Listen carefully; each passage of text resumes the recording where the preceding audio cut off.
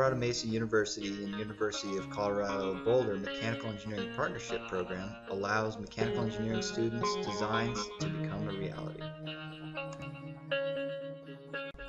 Here a student models a sports car using SOLIDWORKS computer-aided design software. The model is constructed by multiple sketches on a 3D plane.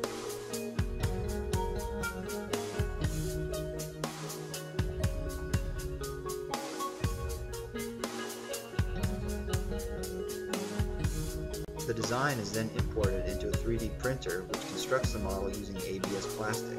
This particular model took more than 12 hours to print.